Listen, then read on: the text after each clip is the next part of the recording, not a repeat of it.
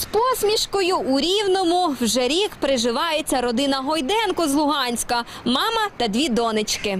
Майже 20 років у Луганську прожила Руслана Гойденко. Там створила сім'ю, народила двох дочок. Працювала, займалась громадською роботою. Але у червні 2014 року довелось покинути місто. Рівне обрали, тому що родом я сама з Рівненщини. Е, ну, народилася, жила, навчалася в Рівному. Потім познайомилася зі своїм майбутнім чоловіком луганчанином, який забрав мене в Луганськ. І от тривалий час е, жили, творили іменно в Луганську. Ну, ніхто ж не думав, що так е, складеться, повернеться, що нам от прийдеться виїхати на невідомо який термін з Луганська. Е, Дуже складно, дуже важко е, пройти через такі метарства, які ми зараз проходимо. У Рівне Руслана приїхала з двома дочками. Чоловік залишився поруч з батьками у Луганську, тому уся відповідальність за дітей лягла на жінку. Саме складне, за що я переживала, це продовжити ем, те, що діти отримали в Луганську, отримували, щоб його продовжити і доповнити тут.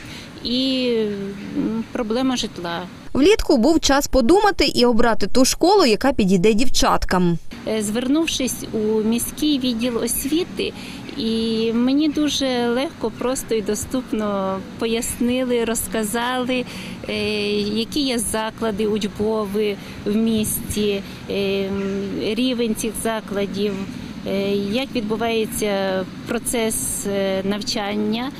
Ось і тому навіть порекомендували на фоні того, що ми мали з Луганська, порекомендували тут в Рівному Рівненську гуманітарну гімназію, і ми дуже задоволені цією гімназією. Жінка розповідає, спочатку було складно, адже з Луганська поїхали лише з літнім одягом перечекати бойові дії. Потім чоловік передав зимові речі, так і залишились у Рівному. Коли дітей влаштувала, трохи адаптувалася і потім почала обирати справу для себе. Спочатку я звернулася в центр зайнятості, Е, теж дуже вдячна людям, які ну от максимально рекомендували, що можна, що в них було, які моменти, і що можна було вибрати з тих моментів.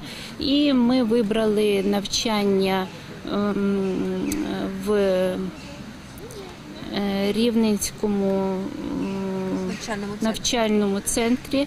Так, я пройшла навчання на адміністратора, Е, дуже гарний рівень, дуже мені сподобалось там.